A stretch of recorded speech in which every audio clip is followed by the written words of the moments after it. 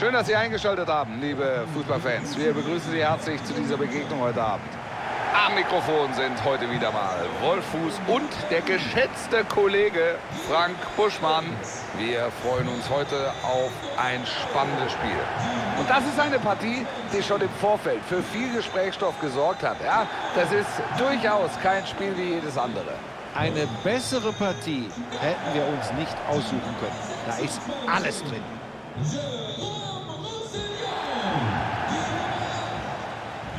Und jetzt geht's los.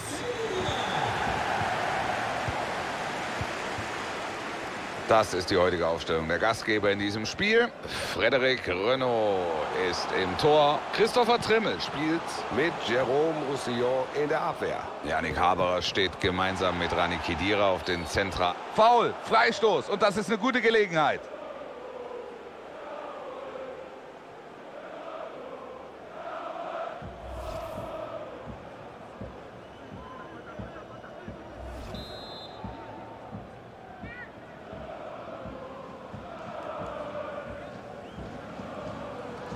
Jetzt die Chance. Den Freistoß setzt er in die Mauer. Da hat er keine Mühe hier bei dem Kopfball. Nein, da war einfach zu wenig Druck dahinter. So kann der nicht gefährlich werden. Ja, dieser Ball kommt nicht an. Da bekommt er Unterstützung. Freistoß gibt's, aber vielleicht auch eine Verwarnung.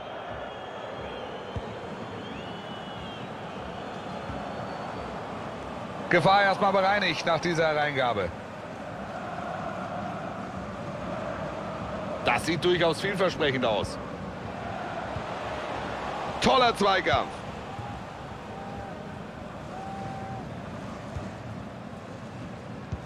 Ja, mit viel Übersicht.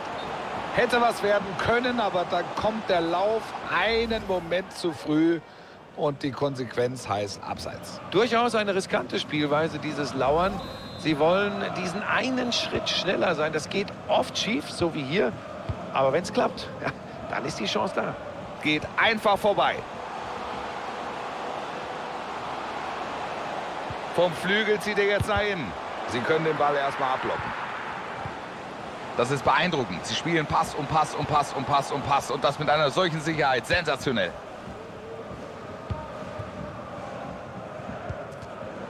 Jetzt können sie kontern. Der Ball ist weg. Aus dieser Konterchance können sie nichts machen. Ja, guter Pass.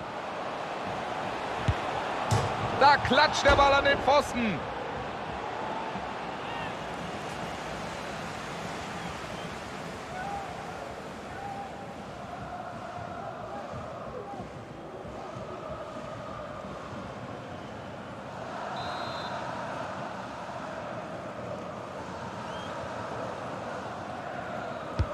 Ecke kommt rein.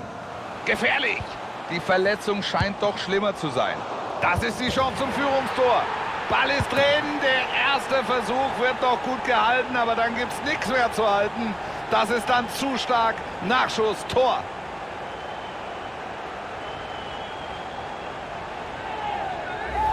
Wir schauen uns die Wiederholung nochmal an. Die erste Chance noch klasse pariert, aber dann die nächste Chance und die wird genutzt.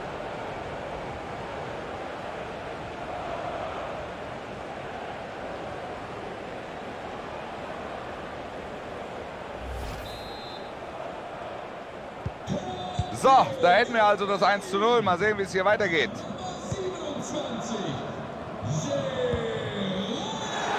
Schiedsrichterin geht Vorteil. Und das ist auch genau die richtige Entscheidung. Sie lassen den Ball da jetzt gut laufen. Aber jetzt verlieren sie doch den Ball. Da hat dann doch die Präzision gefehlt. Gute Ballführung. Und das will er jetzt alleine machen. Super Tackling vom Abwehrspieler. Ich glaube, sie sollten ihn rausnehmen. Das sieht nicht gut aus. Guter Einsatz, Ball ist weiter im Spiel, könnte gefährlich werden jetzt. Ball draußen wird Einwurf geben.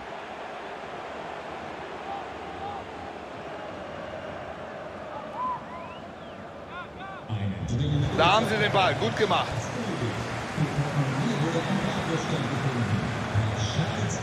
Wird das seine Torchance? Geht mit Einwurf weiter.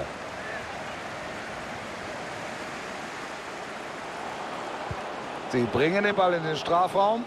Sie bekommen den Ball nicht weg. Da muss er hin und holt sich den Ball.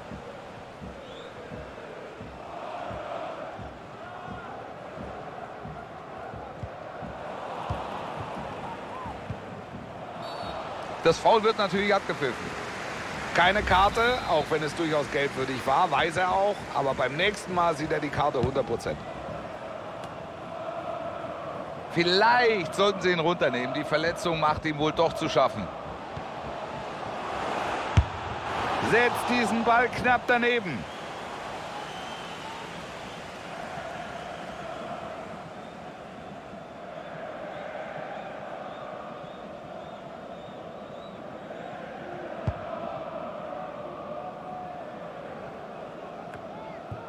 Becker. Jetzt gibt es hier vielleicht die Chance. Da haben sie natürlich keine Probleme. Das war eine Riesenchance. Da müssen sie mehr draus machen.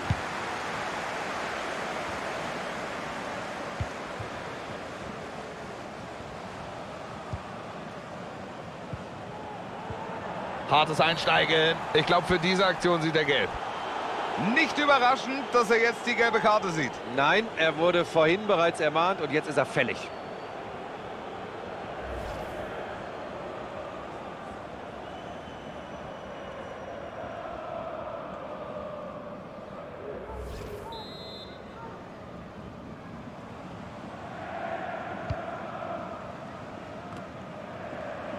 Sie stören früh, da ist der Ball.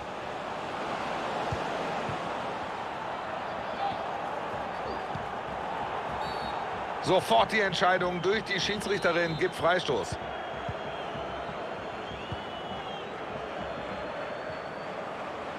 Und hier wird es jetzt zwei Minuten Nachspielzeit geben.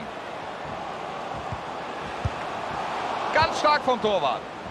Ja, das sah gefährlicher aus, aber der Ball ist erstmal weg. Schiedsrichterin gibt den Elfmeter.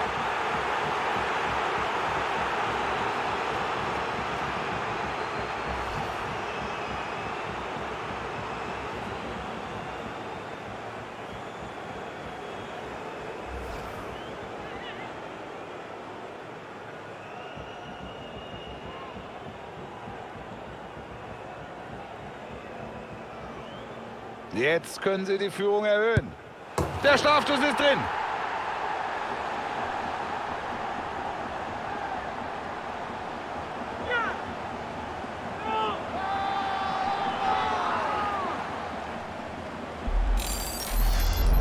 Den hat er klasse verwandelt. Hier die Wiederholung. Da sieht man schon beim Anlauf, wie entschlossen das Ganze über die Bühne geht. Und dann der Ball unten im Eck.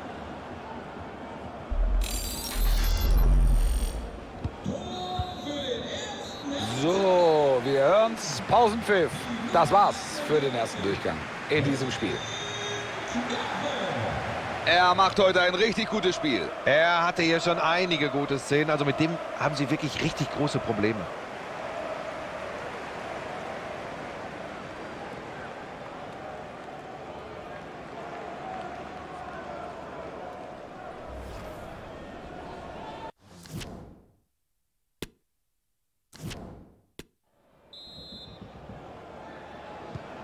Die Schiedsrichterin pfeift wieder an. Wir gehen rein in Durchgang 2.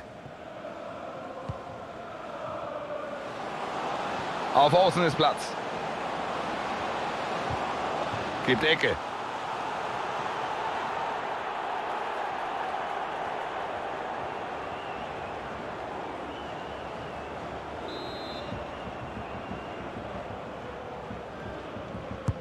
Die Ecke kommt. Erstmal geklärt.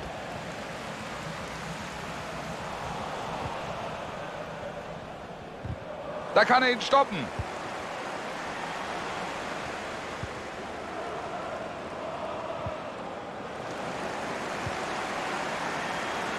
Wenn es jetzt schnell geht, dann wird es gefährlich. Aktion läuft weiter, nach wie vor gefährlich. Gefährlich jetzt. Ganz spannende Szene. Was für eine unglaubliche Parade. Ah, Wolf, eine Riesenszene, fantastischer Reflex. Den habe ich schon drin gesehen.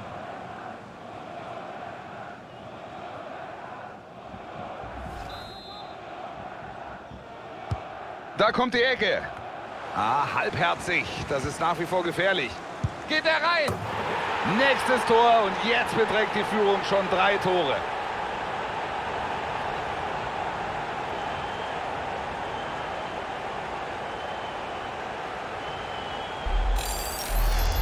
Sie hatten natürlich die Chance, diese Szene zu unterbinden, aber ja, dieser Befreiungsschlag ist zu schwach. Und dann äh, darfst du dich nicht wundern, wenn der Treffer fällt.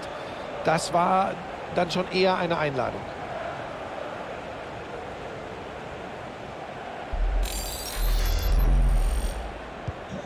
Spätestens jetzt wird es eine ziemlich klare Angelegenheit. 3 zu 0.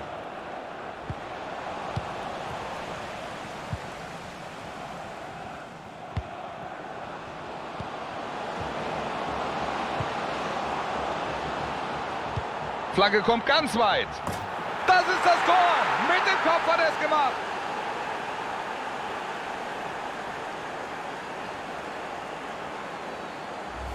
Nochmal das Tor. Da kommt die Flanke. Und das ist einfach nur ein exzellenter Kopfball. Deshalb ist er da vorne drin so wichtig.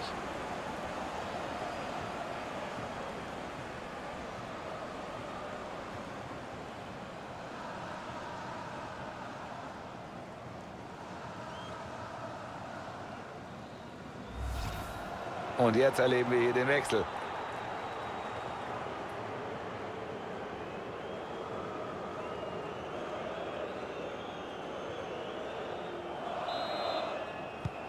Nach diesem Treffer steht es nun 3-1. Freistoß gibt's, aber vielleicht auch eine Verwarnung. Keine Karte, auch wenn es durchaus gelbwürdig war, weiß er auch. Aber beim nächsten Mal sieht er die Karte 100 Prozent. Den Ball hält er, war am Ende auch mehr oder weniger mühelos.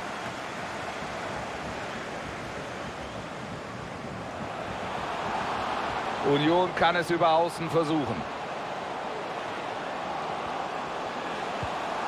Was macht er draus? Macht er ihn! Ja, er macht ihn!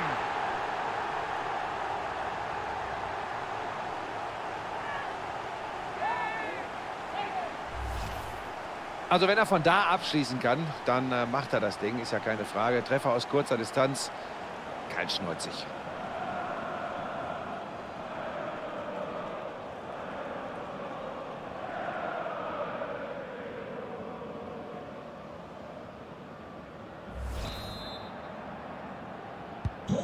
Vier eins jetzt also.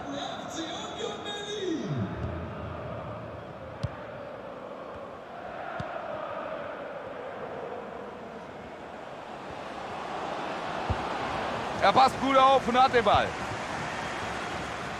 Jetzt nimmt er es alleine mit allen auf. Gefährlich, immer noch. Und das nächste Tor, das ist natürlich stark. Sie lassen nicht nach, erhöhen damit auf vier Tore Vorsprung. Hier nochmal die Wiederholung des Tors. Wir sehen den Konter und dann lässt er sich das nicht nehmen, wenn er aus so kurzer Distanz zum Abschluss kommt. Er macht ihn rein. 5-1 jetzt also der Spielstand. Ich glaube, sie sollten ihn rausnehmen. Das sieht nicht gut aus. Und jetzt sind hier noch 20 Minuten zu spielen. Ball fliegt hoch ein. Aber dann gelingt es ihm doch nicht, etwas Zählbares aus diesem Angriff mitzunehmen.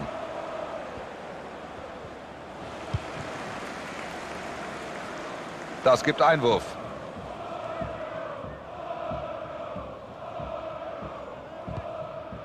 Bart Newcope. Gebt Vorteil nach diesem Foul. Der Ballverlust. Das muss Freistoß geben. Klare Entscheidung der Schiedsrichterin.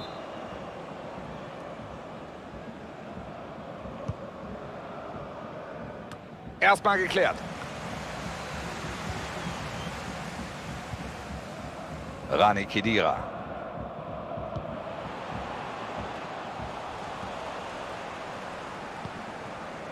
Ob er sich schlimmer verletzt hat, es wirkt zumindest so. Ah, da ist der Ball weg.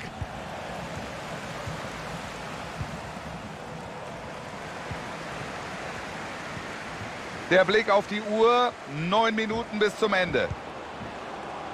Geht gut dazwischen, weg ist der Ball.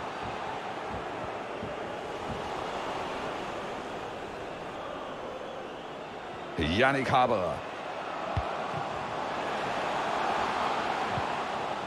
Rani Kedira. Gut dazwischen gegangen. Jetzt vielleicht die Chance für den Konter.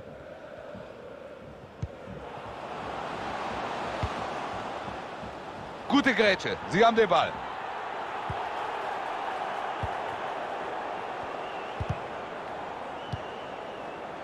Jetzt gibt es den Endspurt. Drei Minuten Nachspielzeit. Sibachö.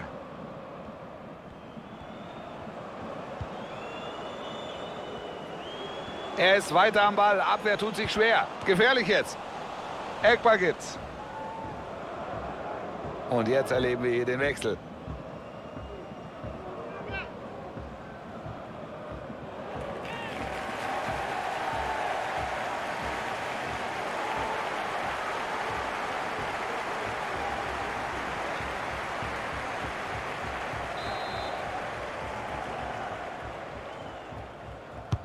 Die Ecke kommt rein. Da hören wir den Schlusspfiff. Die Gastgeber haben dieses Spiel also gewonnen. Sie haben das heute super gemacht, waren perfekt eingestellt und konnten diese Partie jederzeit dominieren.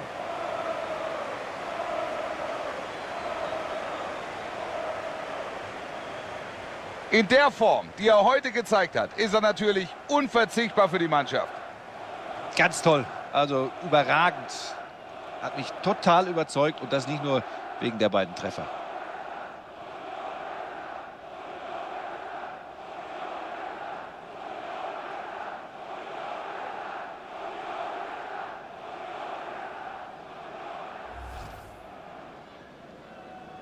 Beide Mannschaften sind bereit. Es geht los. Ja, guter Pass.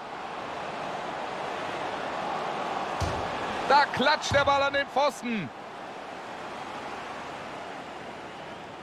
Ecke kommt rein. Gefährlich. Die Verletzung scheint doch schlimmer zu sein. Ball ist drin. Der erste Versuch wird noch gut gehalten, aber dann gibt es nichts mehr zu halten. Setzt diesen Ball knapp daneben.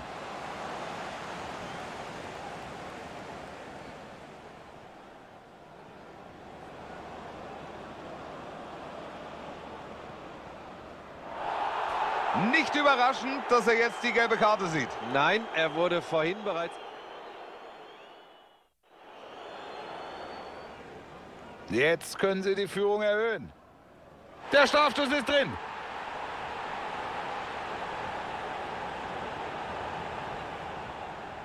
Gefährlich jetzt. Was für eine unglaubliche Parade. Ah, Wolf, eine Riesenszene, fantastischer Reflex, den habe ich schon drin gesehen.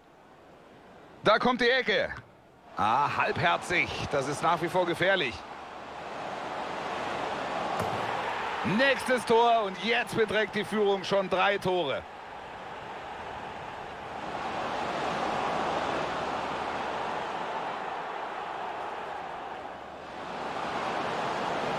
Das ist das Tor. Mit dem Kopf hat er es gemacht.